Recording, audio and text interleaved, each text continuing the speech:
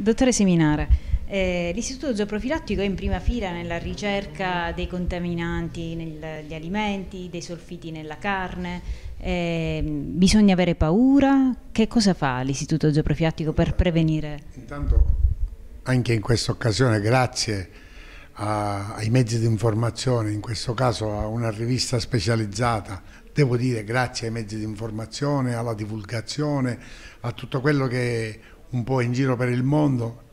e devo dire nell'aspetto della globalizzazione è un fatto positivo. Noi siamo impegnati ogni giorno di più per la salute dei cittadini, per la salute dei consumatori. Oggi il nostro campo non è solo veterinaria, salute animale, ma è salute animale strettamente connessa con la salute e il benessere dei, dei consumatori, dei cittadini, di tutti quelli che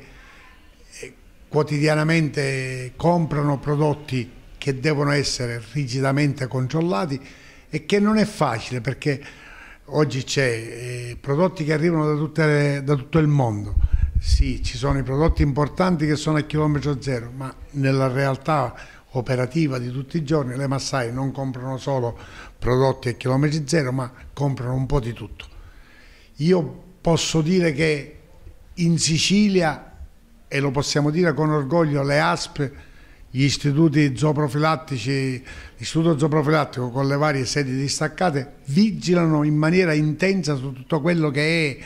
eh, gli alimenti, su tutto quello che sono le sostanze aggiuntive, gli ormoni che fanno crescere i prodotti della terra, gli ormoni che, che eh, ingrassano gli animali da macello noi siamo costantemente coinvolti, sempre di più e in maniera sempre più intensa dalle procure, dai semplici cittadini che ci portano prodotti tipici che hanno acquistato e che magari hanno reazioni particolari una volta messi in pentola.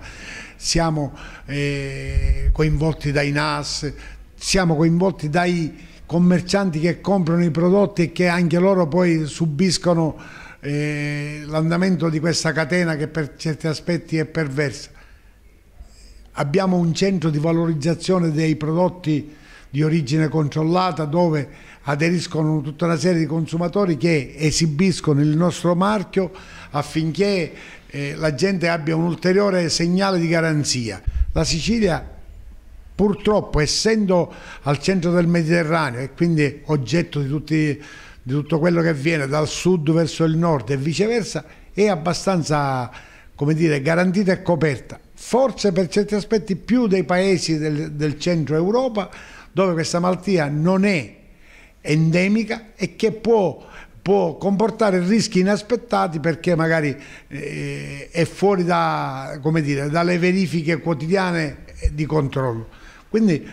uno, un segnale di rassicurazione lo possiamo dare ai cittadini, lo possiamo dare ai commercianti, a chi lavora con grande onestà. Dico di più, noi speriamo di organizzare una giornata di maggio aperta ai cittadini che possono portare i prodotti qua, non so se lo faremo in una piazza o lo faremo dentro l'istituto, dove noi prenderemo i campioni gratuitamente di tutti quelli che vorranno avere una curiosità informata per capire che cosa il pomidoro che stamattina hanno comprato, che cosa c'è eh, nelle ciliegie che stanno arrivando, nelle albicocche, nel, nei frutti di stagione, dove la Sicilia è il leader eh, mondiale. Oggi in Sicilia crescono frutti tropicali che dieci anni fa, vent'anni fa era impensabile. Su questo noi siamo attenti e vigiliamo costantemente, quindi il segnale è di, di forte rassicurazione, senza mai abbassare la guardia.